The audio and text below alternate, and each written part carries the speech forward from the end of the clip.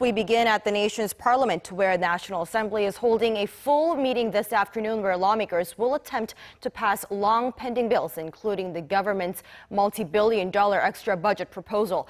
But with deliberations stalled to, la to the last minute and rival lawmakers still at odds over the details, it remains to be seen whether they can reach a compromise. For more, we connect to our Kim Min-ji at the National Assembly. For us, Min-ji, how does it look?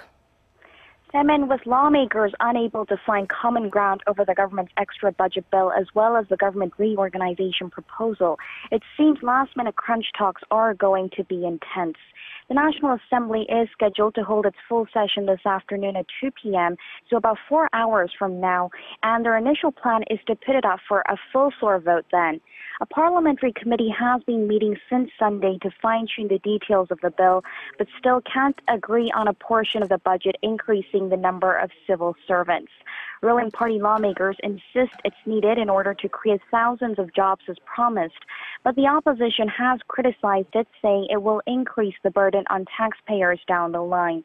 As for the government reorganization plan, rival lawmakers have been unable to narrow their differences on designating the Fire Service and the Coast Guard as independent agencies rather than part of the Public Safety Ministry.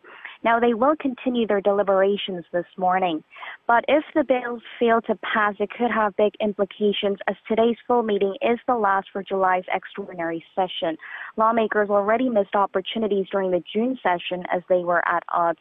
So we will have to see if lawmakers leave the session empty handed or with some achievements. Well, it sure is a race against time now with only just a couple more hours to go before the full session scheduled for 2 p.m. as you said. And I also understand there's a confirmation hearing as still ongoing for President Moon's cabinet picks. Who do we have for today's session?